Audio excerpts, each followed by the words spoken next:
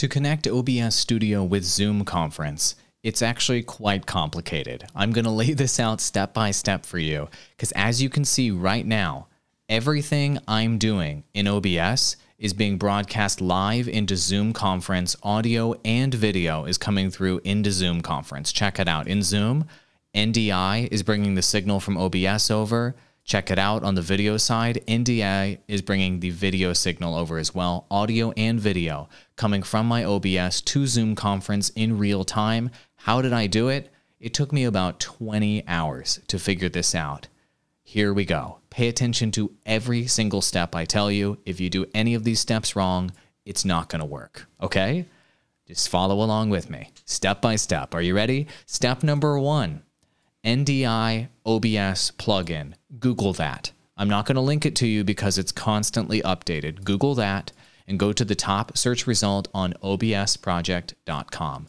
This will be the most recent plugin that's going to allow OBS to use NDI technology to connect to Zoom conference. What you're going to do next is you're going to scroll down on this page and you're going to go to whatever the most recent OBS NDI patch is and then go ahead and click it. Then it's going to give you a link to the release page of the plugin. Click that. It's going to take you to a page that looks like this. Scroll down to the very, very bottom, find your platform that you're going to install this on. There's a Mac version, there's a Windows version, whatever it is. Download the Windows Installer.exe. That's what you're going to want to download Windows Installer.exe. Once that is downloaded, what you're going to do is install it. Great. Now that that's completed, don't do anything else and go to step number two, which is Google NDI Virtual Input. Okay, the top search result should be the correct one on ndi.com slash tools. You'll see a page that kind of looks like this. Scroll down and you'll see a download button to get the most recent NDI tools. Click that and then select your operating system. Windows is here and Mac is here. Select your operating system and click download. It's going to ask you for your personal information. You'll have to provide it if you want these tools, and then it will send you an email after you submit your personal information, and the email will have the download link. Okay? Once you down once you do this, click the email, download the file, and just like you did with the other tools, once the download shows up down here, install it. Great.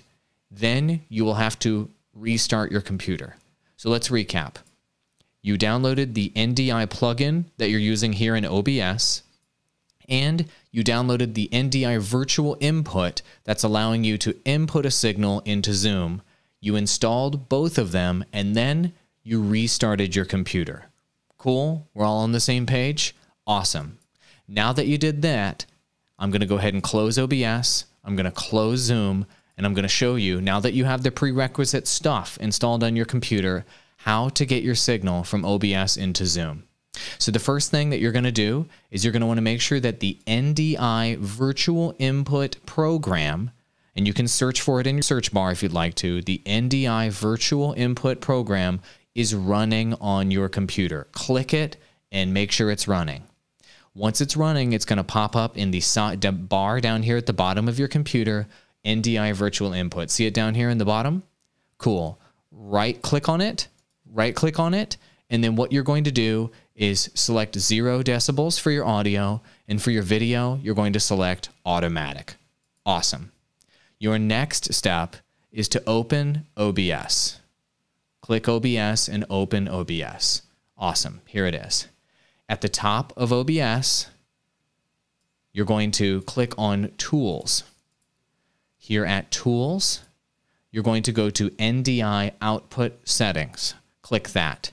And what you're going to do is you're going to select your main output to be outputted and have it be called OBS. Check this checkbox right here, main output OBS, and hit OK. Now that that is happening, your signal from OBS is now outputting so that the NDI plugin can catch that signal. Awesome. Now that that's happening, go to the NDI virtual plugin down here that we were looking at earlier. And as you can see, desktop popped up. now that OBS is open and select OBS right here. So right click on the virtual input in your bar down here, go to desktop or whatever it calls your computer and select OBS. Once you do that, now the virtual input tool is now taking your signal in. You can now plug in your signal from OBS into anything you want, any other program you want. Microsoft Teams, Discord, Zoom, whatever it may be, you can now use your audio and your video from OBS as a virtual input into anything else that supports NDI. It's so sick. Let's show you Zoom today, okay? I'm just going to start a new meeting just as an example and join with computer audio is what you'll want to do. And as you can see, it's already working here automatically. Let me turn it off as if it weren't automatically working, okay? So what you're going to do when you boot up Zoom is you're going to look down here under the microphone section and you're going to click the up hash mark. And you'll see where you can select a microphone in Zoom. Go ahead and select Line NewTek NDI Audio. That's going to pull the audio from OBS from your audio mixer here and pull it into Zoom, okay? Now unmute that microphone. Cool, now your audio from OBS is pumped into Zoom. For your video, click the up hash mark next to the video symbol in Zoom, then select NewTek NDI Video here. Click that, and then click the Start Video button, and it will pop in your video signal into Zoom. So now, when you switch scenes in Zoom, it will switch to whatever is in your main program preview right here in Zoom. Whatever is here visually and whatever is here in terms of audio, that is all being outputted into Zoom in real time. This can let you do professional webinars, professional presentations, stuff on a whole nother level. You can play videos, you can play video games, whatever you want to do. You no longer have to manually select your webcam or select screen sharing or anything else here, your Zoom quality will blow everyone else away. Okay? So let's review all the steps that we talked about a moment ago. You downloaded the NDI plugin that's working here in OBS and you installed it. You downloaded and installed the NDI virtual input, which allows you to input into programs like Zoom, and you installed that. You restarted your computer you opened the virtual input program here. Then you opened OBS and you outputted your OBS signal using the tools.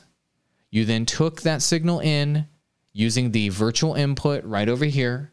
Then your final step was opening Zoom and selecting NDI as your microphone and NDI as your video source and then the magic happens.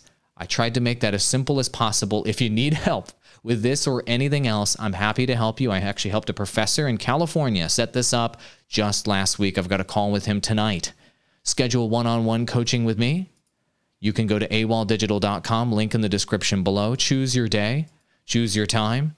I can help you with your YouTube strategy, your streaming strategy, your webinars, whatever it is. I've been doing this for a living for the last 15 years. Enter your information and pay, and boom, I'm on a one on one coaching call with you, helping you do whatever it is you need to do with online broadcasting.